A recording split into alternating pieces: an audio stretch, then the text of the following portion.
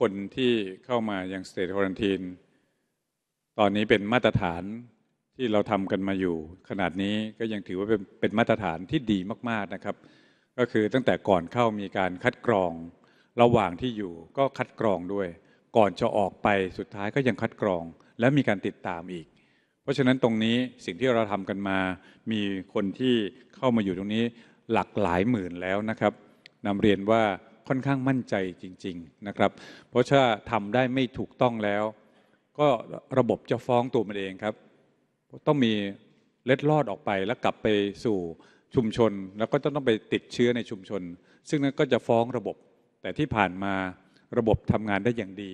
แล้วก็ทำให้เราเห็นตัวเลขติดเชื้อลดน้อยลง แล้วก็พบ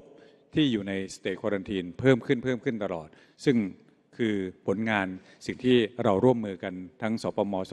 สปสททั้งหลายเนี่ยนะครับได้ร่วมมือกันทำก็นำเรียนว่าขอให้มั่นใจครับ แล้วก็จะพยายามทำให้ดีที่สุดด้วยครับ